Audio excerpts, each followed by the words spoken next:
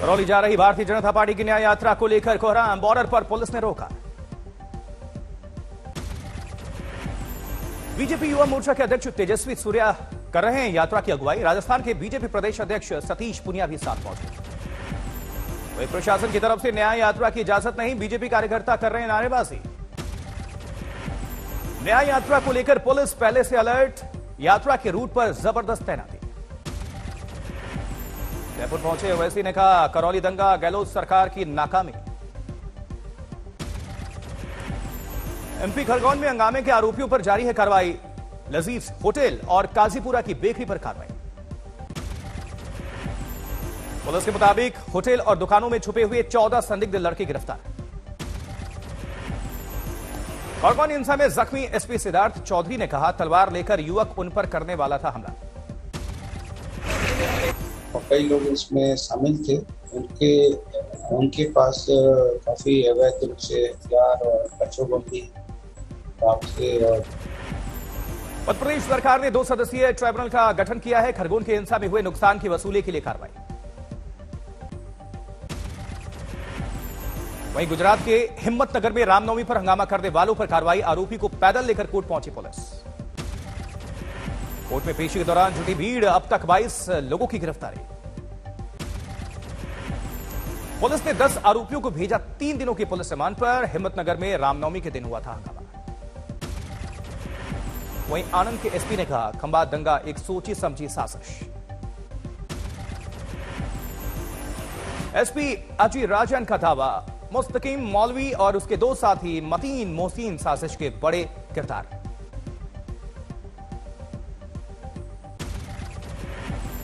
महँगाई को लेकर आम आदमी पार्टी का हल्ला बोल, रोहतक में प्रदर्शन।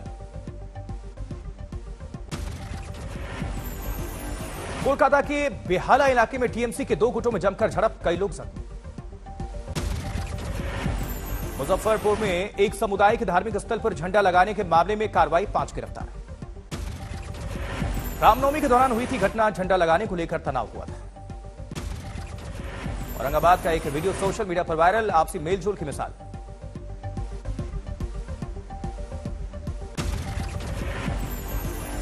रामपुर में हत्या का मामला दर्ज। होने के चंद घंटे बाद कार्रवाई, आरोपी के घर पर चला बुलडोजर। पुलिस की मौजूदगी में गिराया गया आरोपी का मकान, पूर्व प्रधान के बेटे ने सात आरोपियों को किया था नामजद। बदमाशों की फायरिंग में पूर्व प्रधान के भतीजे की हुई थी मौत, पूर्व प्रधान जख्मी। घटना को लेकर पुलिस की 14 घंटे के अंदर दूसरी कार्रवाई। एनकाउंटर में दो आरोपियों को गोली लगी। बुलंदशहर में चला बुलडोजर, अवैध कॉलोनियों में बने दो दर्जन से ज़्यादा मकान ध्वस्त। यूपी में लागू होगा सिटीजन चार्टर, कर्मचारी तीन दिनों से अधिक नहीं रोक सकेंगे फ़ाइल। लोगों की शिकायतों पर तुरंत होगी कार्रवाई, देरी होने पर जवाबदेही तय की जाए।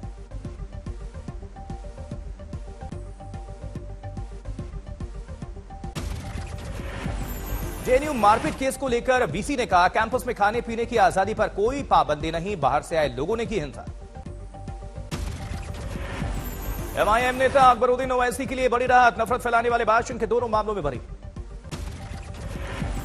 नोएडा के तीन स्कूल्स में निकले कोरोना केस 18 अप्रैल तक स्कूल बंद।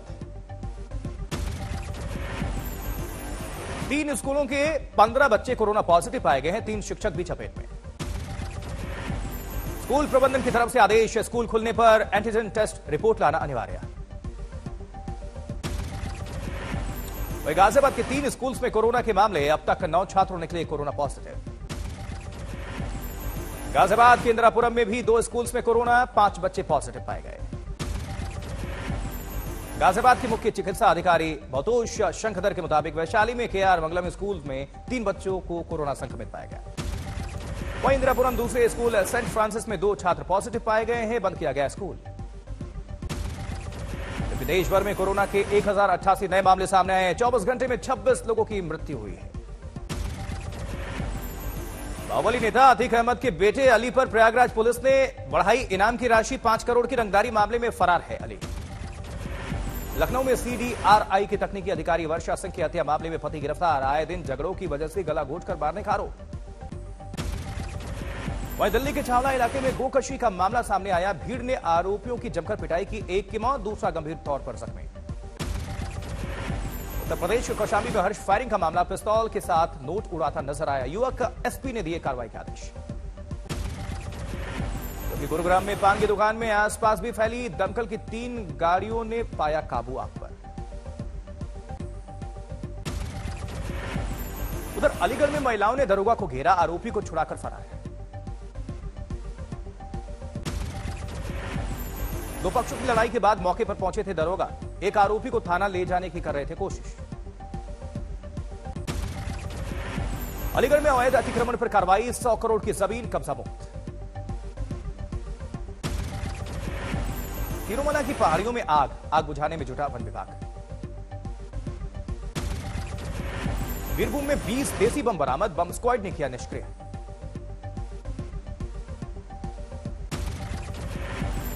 सवाई माधोपुर में फैक्ट्री के हाथे में खड़ी बस में आग लगी, चपेट में आए तीन टाटा मैजिक और एक स्कूटर। गुरुग्राम में 24 लोग बीमार बताए जा रहे हैं। माता के मेले में पिया था फ्रूटी का प्रसाद। वडोदरा में नगर निगम कर्मचारियों ने कोर्ट के सामने मांगी भीख, नौकरी पक्की करने की मांग। रोहतक में बिजली कटौती से किसान परेशान कटाई में देरी में फ़सल हो रही है बर्बाद। बिजली विभाग की दलील, हाई टेंशन बिजली के तारों से होने वाली स्पार्किंग से फ़सलों में लगती है आग, इसलिए हो रही कटौती। जबकि आगरा में ग्यारहवीं की छात्रा को दिन दहाड़े किया गया अगवा कॉलेज के गेट के बाहर की घटना। चाचा के साथ कॉलेज जा रही थी छात्रा, बदमाशों ने धक्का देकर चाचा से की मारपीट। कानपुर में अब लॉकर से ज्वेलरी चोरी की ग्यारहवीं वारदात सामने आई है। अब तक हो चुकी करोड़ों की चोरी, अन्य मामलों में पाँच की गिरफ्तारी।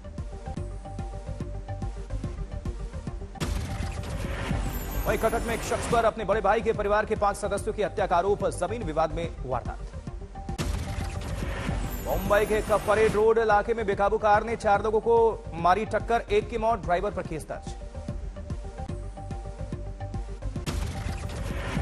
लखनऊ में संदिग्ध हालात में एक युवक की मौत, पिता ने पुलिस पर लगाया बेटे की मौत का आरोप, पुलिस का दावा, दीवार कूदने की कोशिश में हुआ घायल, गई जान। क्योंकि रोपड़ में एक ही परिवार के तीन सदस्यों की संदिग्ध मौत, जबकि एक शख्स लापता बताया जा रहा है, हत्या की आशंका। कुरुक्षेत्र में दसवीं की छात्रा पर एसिड से अटैक और पीड़िता के भाई पर चाकू से हमला, जाँच कर रही है पुलिस। सवाई माधोपुर में बैंक में करीब साढ़े पाँच लाख रुपयों की लूटपाट नकाबपोश बदमाशों ने वारदात को दिया अंजाम, सीसीटीवी में कैद हुई तस्वीरें। जम्मू में रोहिंग्या के खिलाफ अभियान, प्रशासन ने त्रिकुटा इलाके में ज़मीन से कब्जे को खाली कराया।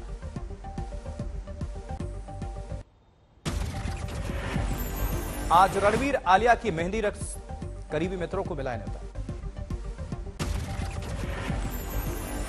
आर के स्टूडियो में मेहंदी और संगीत रस्म है, ज़ोर शोर से जारी है तैयारी। रणवीर आलिया की मेहंदी के मौके को रणवीर की माँ नीतू कपूर ने लिखा इंस्टाग्राम पोस्ट 43 साल बाद पुरानी यादें साझा की। रणवीर आलिया की शादी से पहले मुंबई में सजा। रणवीर का वास्तु अपार्टमेंट, केले के पत्तों से सजावट, पूजा का आयोजन। रणबीर कपूर की माँ नीतू कपूर और बहन रिधमा शादी की रस्मों के लिए रवाना हुए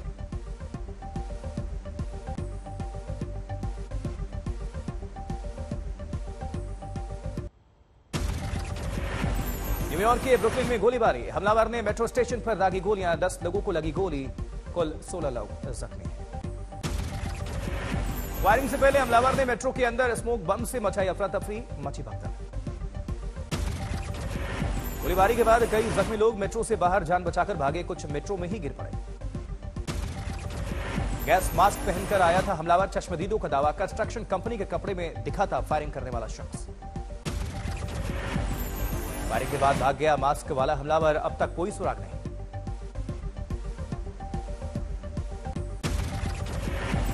न्यूयॉर्क पुलिस ने कहा, आतंकी एंगल नहीं, लेकिन हमलावर काफ़ी खतरनाक दोबारा कर सकता है हमला।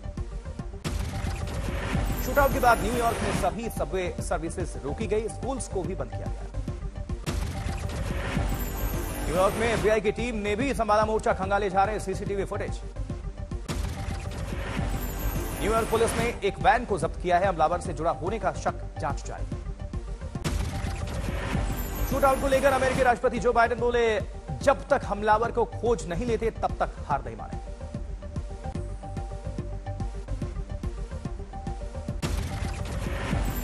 माने मारियापोल में फिर ज़बरदस्त हमले की तैयारी में रूस समर्थित सेना। मुस्तैद दिखे जवान। मारियापोल के गिरे बंदरगाह में से एक अजोवत्सल में अभी यूक्रेन की मज़बूत पकड़। रूस समर्थित जवानों ने टैंकों को गोला बारूद से किया लैस मारियापोल में अब तक करीब बाईस हज़ार नागरिकों के मारे जाने की आशंका है। दोनेस्क ओब्लास्ट के गवर्नर का दावा है। वहीं खारकिव के बारबेंको इलाके में रूसी हमले में बड़ी तबाही, लगातार धमाकों से खौफ में है लोग। उत्तरी पश्चिमी क्यू में बोयांका शहर में यूक्रेन की सेना ने चलाया अभियान, बर्बाद अपार्टमेंट का मलबा हटाने का काम जारी, जवान लगे हुए हैं, चार लाशें बरामद। युद्ध के उनचासवें दिन धमाकों से दहला यूक्रेन का शहर खारकीव, बड़े पैमाने पर तबाही की आशंका। रूस ने अब तक लिपिट्स ओब्लास्ट एयरफील्ड में लड़ाकू विमान जुटाए हैं, तीस से ज़्यादा विमानों की मौजूदगी है। कीव ओब्लास्ट में मिले 720 शव की पहचान 200 लोगों के अभी भी लापता होने का यूक्रेन का दावा। कीव को हथियारों की सप्लाई बढ़ाएगा अमेरिका? 750 मिलियन डॉलर के नए मिलिट्री सहयोग का वादा है। यूक्रेन में रूस समर्थक माने जाने वाले विपक्षी नेता विक्टर मेदवेदचुक की गिरफ्तारी फरवरी से फरार थे। और एक बार फिर पुतिन ने पश्चिमी देशों को धमकाया, कहा, यूक्रेन युद्ध में दखल पर होगा खतरनाक अंजाम। यूक्रेन के साथ बातचीत। डिले, डिरेल होने की आशंका है। पुतिन का बयान शांति वार्ता में खलल पड़े। क्यू ने भी कहा, युद्ध रोकने के लिए रूस के साथ जारी बातचीत काफ़ी मुश्किल। पुतिन ने फिर जताया अपना इरादा, कहा, यूक्रेन में जीत मिलने तक जारी रहेगा हमारा हमला। जर्मनी के राष्ट्रपति का बयान, मैं क्यू जाने को तैयार था, लेकिन यूक्रेन ने नहीं चाहा। श्रीलंका की राजधानी कोलंबो में राष्ट्रपति भवन के बाहर प्रदर्शन। अब टेंट लगाकर लंबे आंदोलन की तैयारी में हैं लोग। श्रीलंका संकट के बीच भारत ने फिर की मदद। 11,000 मीट्रिक टन चावल कोलंबो पहुँचाया।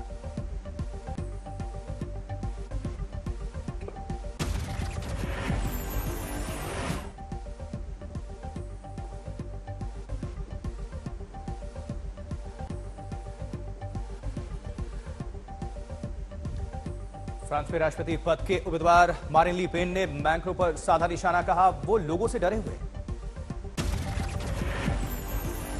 चीन में तेज़ी के साथ पैर पसार रहा है कोरोना। शंघाई समेत उनतीस राज्यों में फैला नए वेरिएंट का संक्रमण।